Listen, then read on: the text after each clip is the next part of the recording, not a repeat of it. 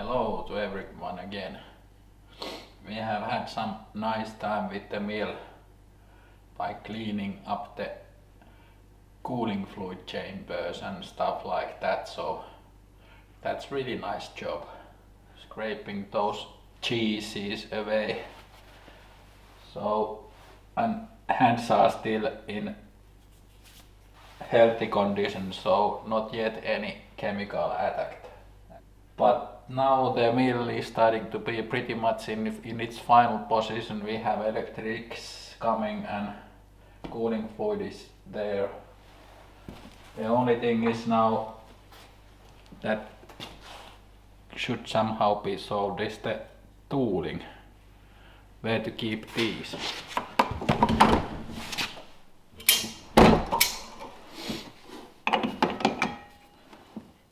this machine included quite nice amount of tool holders and also bunch of tools. So it's pretty much 50 pieces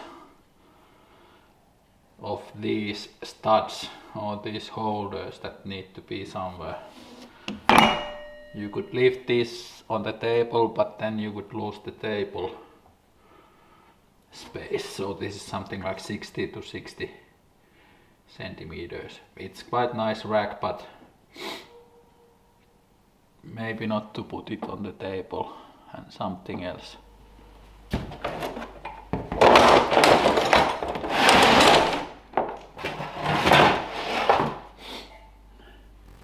When you are doing some work over here in this corner you I guess you would like to utilize this table for the work and also for tools. But this tooling, I was thinking to put it on this, to put it on this wall. I need also some kind of visual access for these tools because I'm not so familiar what there even is so some kind of good glance overview on tools that I have it sounds a little bit strange but it would probably get some kind of easier understanding on the subject that what can be done with the bl blades what I have or with the, with the tools. So some kind of rack on the wall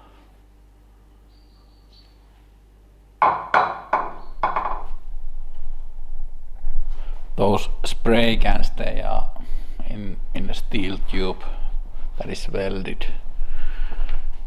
But that tool base or the tool holder I it should be avoided that it gets hit by some other metal. So I was thinking of doing it from the wood plank and to drill those holes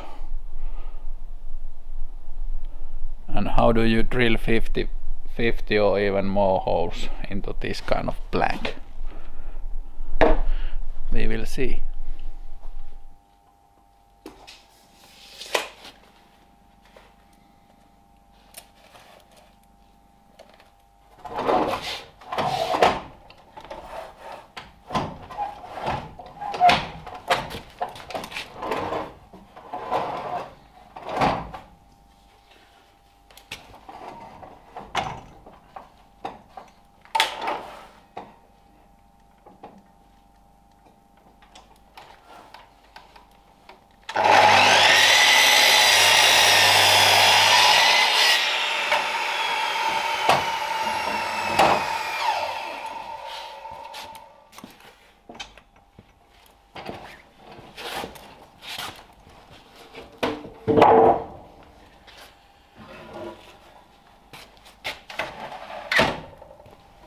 okay then I was thinking about that to get some kind of visual look for the tools.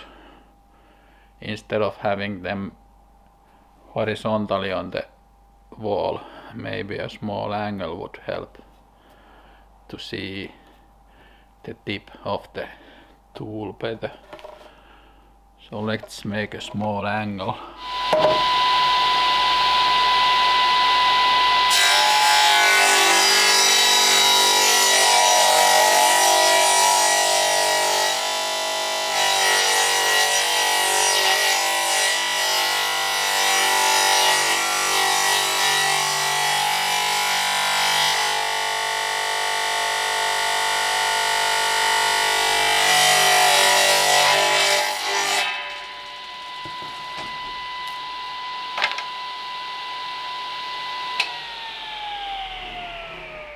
that existing one is done with the 80 millimeter distances between the center holes. So that deviation is quite nice for the tool. So I'm using that same.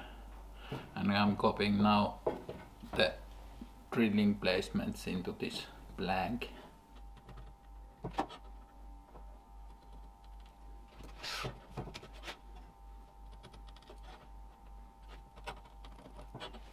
Okay, we have the markings now done. I don't know if you can see them, they are quite small, but I did put them so that they are every uh, every one and other, so they are they are not in a row, they are every other row, so maybe you can see better and it gives a little bit more room for the tool but of course this distance is the same so it doesn't go exactly like that but I will try to do it like that. We have some slack in our tool. Have to do something to this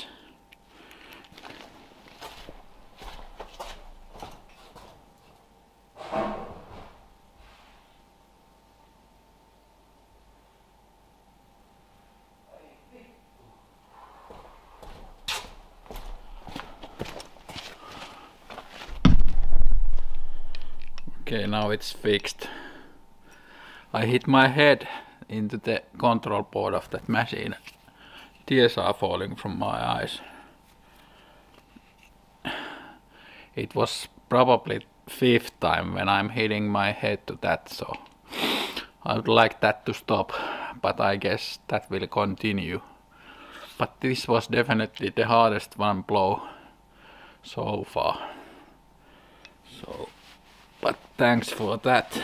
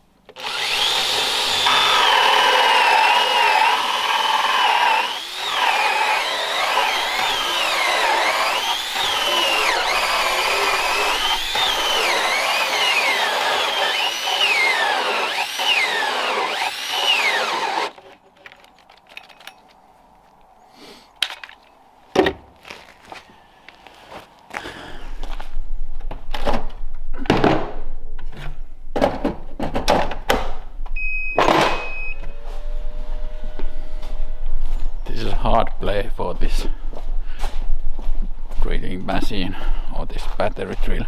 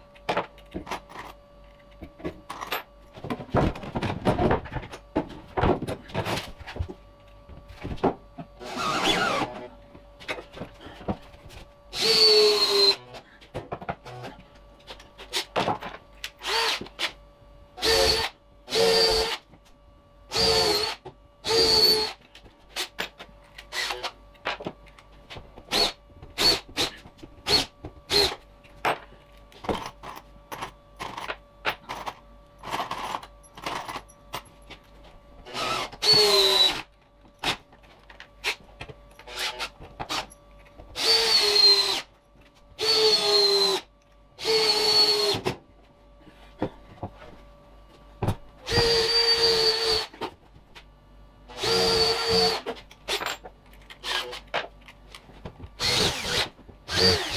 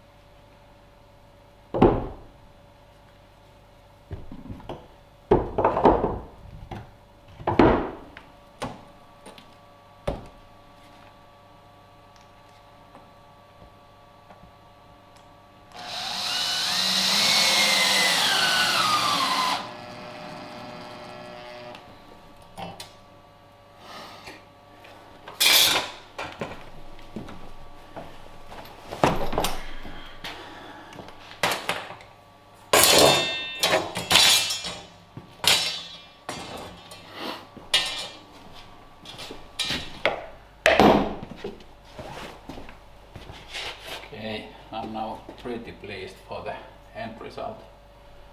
These are still staying on the on the wall and there is quite heavy load now on these blanks but now it's easier to see what kind of blades or what kind of mills there are and what kind of fixing things these flanges what what they are available. So for at least for me when I'm starting this thing I'm pretty much on the coffee like Finnish say that what what do, do I really have in the warehouse. So it was really nice that the machine came with plenty of tools maybe if, if you calculate some value for these tools it might be that it's at least 20 euros to get one holder and maybe some kind of tool. So minimum price is 20 and if we have 50 we have 1000 worth of tools.